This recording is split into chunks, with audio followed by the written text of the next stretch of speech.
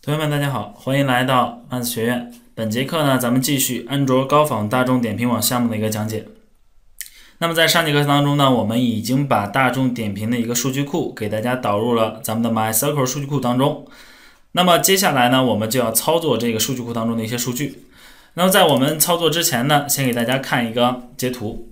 那这是咱们在点击左上角选择城市这个位置之后呢，它会给我们出来的一个效果图。那这个效果图它会根据我们右边的一些索引，比如我们有 A 到 Z 这二十四个索引字母，我们分别选中哪个索引字母，它就会把我们以当前索引字母开头的一个城市给我们选中出来。你比如 A 开头的安阳、安庆和鞍山给我们选中出来，而这些数据呢，都是从我们的服务器当中给我们返回出来的。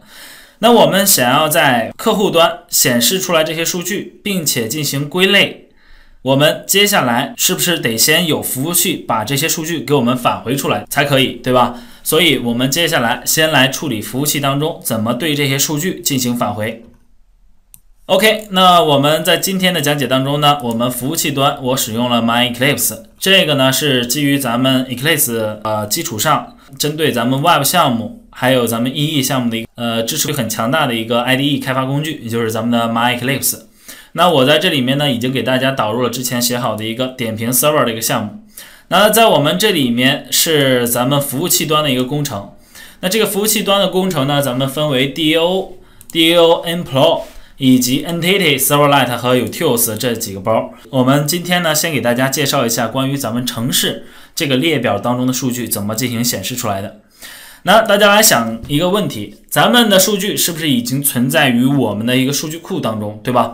在我们的 MyCircle 数据库当中，在我们上节课当中给大家讲解的这个，在我们这个 Navigate for MyCircle 当中的点评数据库城市列表呢，都在我们这个 City 当中。这里面封装了我们服务器端的一些数据，那么接下来我们需要做的是不是让我们服务器端的项目关联住我们的 MyCircle 数据库，对吧？所以我们刚开始呢，就在这个 src 下面给大家创建了一个 configure 点 properties，创建一个文件，后缀名命名为咱们的 properties。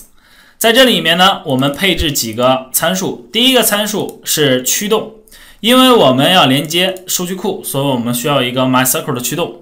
这种写法呢是固定死的，就叫做 com 点 mycircle 点 gdbc 点 driver。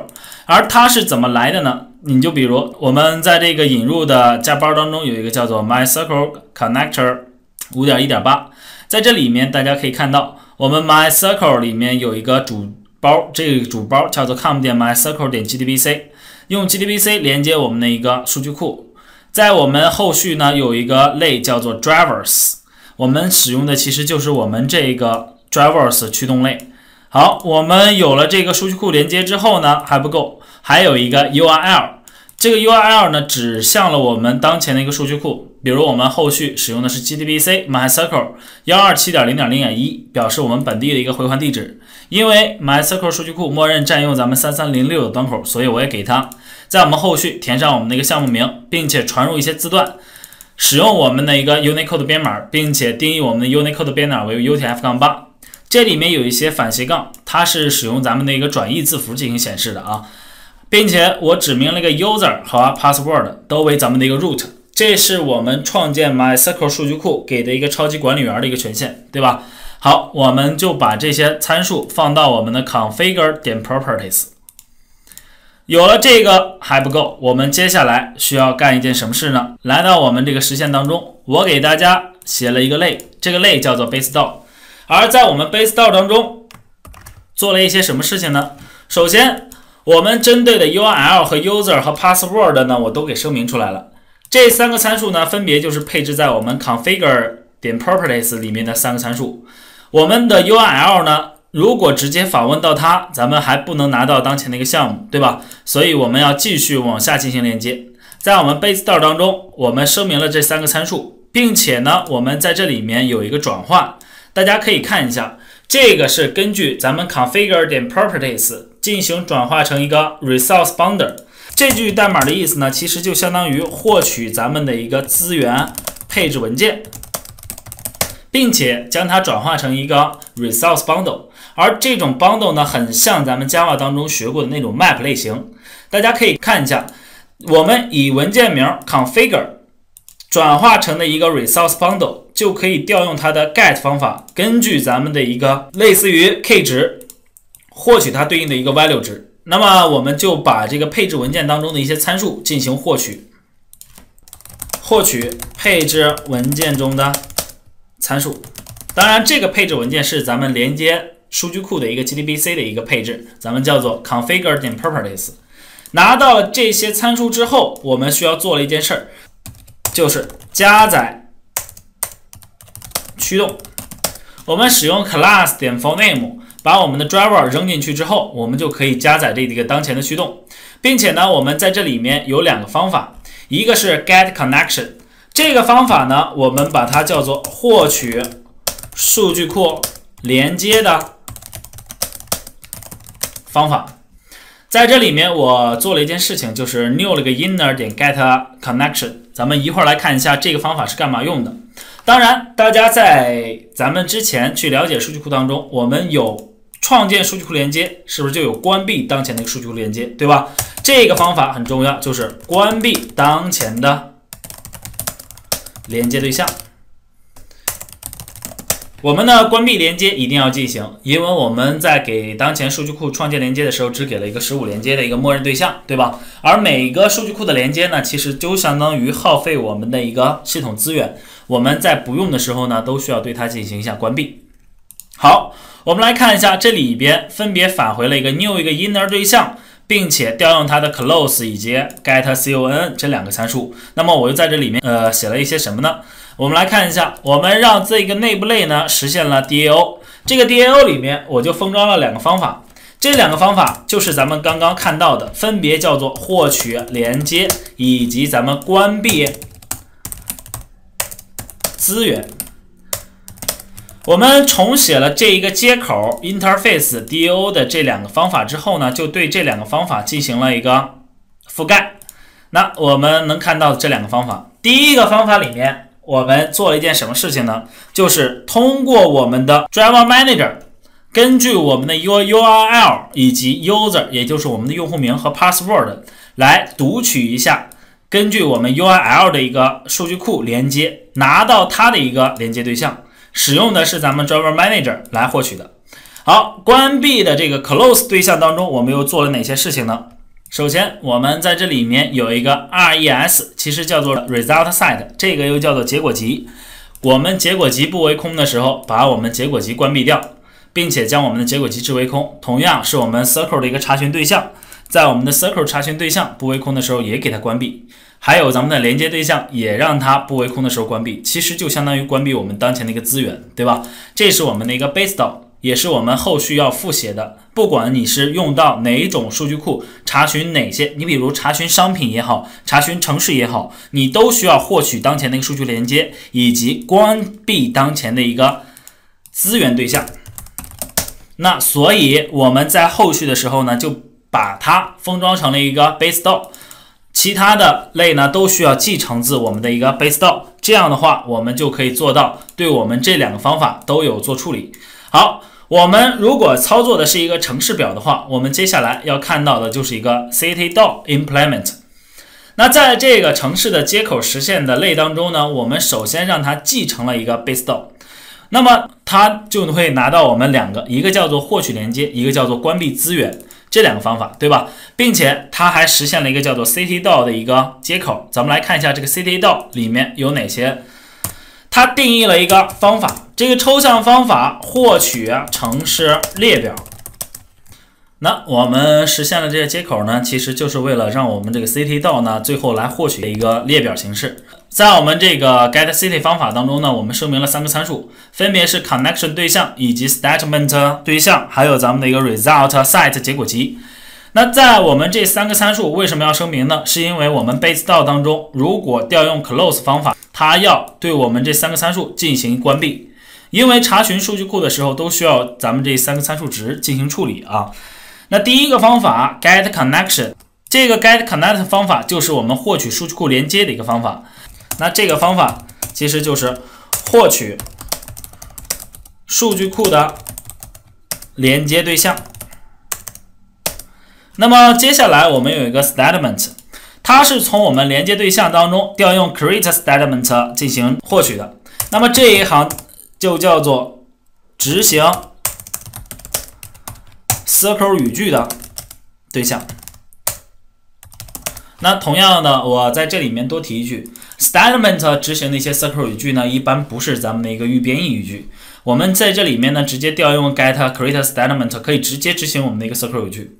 而后续的时候，如果大家对 Java EE 有了解的话，应该会知道一个叫做 prepare statement，是一个预编译的一个 statement。那我们这里面呢，就先去实行我们的一个 circle 语句。那第三个叫做 result set，这个又是我们使用到的一个结果集。也就是我们最后拿到的，其实就是一个获取的结果集对象。那它怎么进行获取呢？就是通过我们执行 circle 语句的这个 statement 对象，调用 execute query 的一个方法。在我们这里面，我们对这一句 circle 语句应该不陌生，就是 selecting from 咱们 city 这个表，并且根据我们的 city short 这个 key 值进行排序。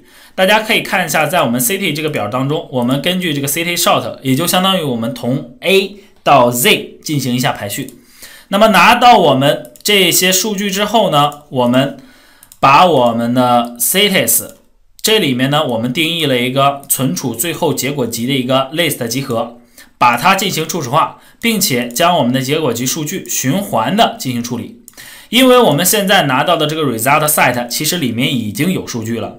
那么在这里面，我们应该怎么把这个数据存放起来呢？这时候我给大家定义了一个 city 类，这个类当中定义了 id、name 以及 short key，其实就是把我们数据库当中的一些数据封装成对象，我们在这里面操作一些对象。每次调用我们结果集的 nest 方法获取下一个结果对象的时候，我们都去创建一个 city 对象，并且 set name、set id 和 set short key，我们把这个。CT 对象呢，再加进我们的一个 list 集合当中。那么大家这些一做完，我们的 list 集合是不是就存放着一个一个的 CT 对象，对吧？好，最后我们不要忘了 finally 当中呢，关闭我们当前的一个资源对象。